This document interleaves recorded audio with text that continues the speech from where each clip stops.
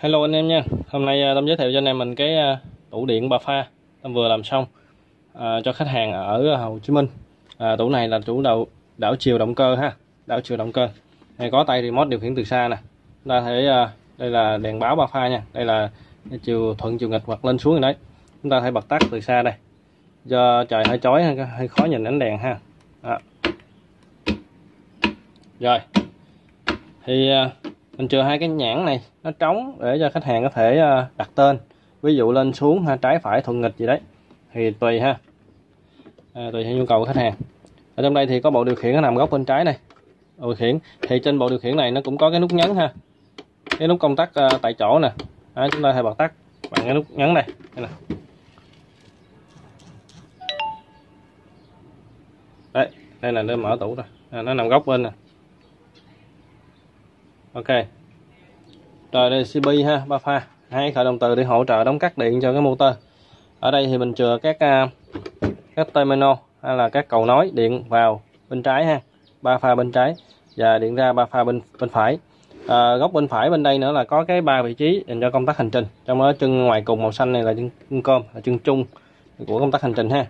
Còn à, hai dây màu vàng đó là hành trình 1 và hành trình 2 tùy thuộc khách hàng có thể dùng hoặc không dùng cũng được nhưng mình đấu sẵn ở đó thôi ngoài ra thì cái bộ này nó còn cái ờ, hỗ trợ cái nút nhấn bên ngoài vỏ tủ điện nữa. Hỗ trợ nút nhấn là dù trái phải và nút stop chẳng hạn.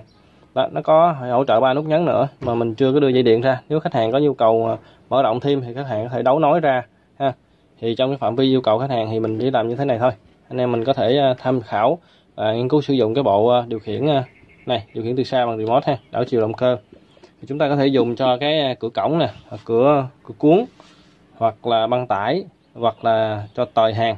Thì tùy theo cái công suất mà chúng ta sẽ thiết kế sao cho nó phù hợp ha. Chọn thiết bị bên trong sao cho nó phù hợp. Rồi, riêng cái bộ điều khiển à, harness này á, từ xa này thì chúng ta có thêm chế độ là nhấp nhả nha. Tức là chế độ chúng ta nhấp thì nó sẽ chạy, ví dụ chạy bên trái. Rồi chúng ta à, nhấn thì nó chạy bên trái, buông ra thì nó sẽ dừng, nó ngưng. Thì có thêm chế độ đấy nữa thì tâm sẽ à, dẫn cái đường link cái video làm trước đó rồi. Em sẽ để đường link bên dưới cái phần comment đó hoặc là phần mô tả video nè. Anh em mình theo thôi theo dõi thêm ha. Rồi thú này thì tâm giới thiệu sơ qua như vậy thôi. Nếu anh em mình thấy có nhu cầu thì liên hệ cho tâm số điện thoại ngay góc bên dưới màn hình đó 0906 099 063 có Zalo luôn anh em mình có thể liên hệ bất cứ lúc nào.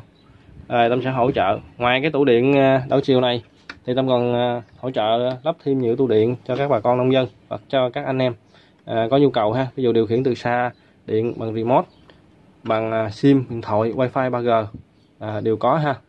Và cho cả tủ điện dân dụng và tủ điện công nghiệp luôn. Nếu tủ điện công nghiệp thì anh em cứ liên hệ trực tiếp ha để mình thảo luận cái nhu cầu trước. Còn đây là những cái video tâm post trên đăng trên cái kênh youtube này đa phần là tủ điện liên quan tới dân dụng và cái tủ điện tương đối đơn giản ngoài ra các tủ điện hòa lưới hoặc tủ điện đảo ờ, các tủ điện dành cho động cơ lớn á, thì anh em mình có thể ờ, liên hệ trực tiếp với Tâm ha để hỗ trợ tư vấn và báo giá. Rồi xin chào và hẹn gặp lại anh em ở video tiếp theo.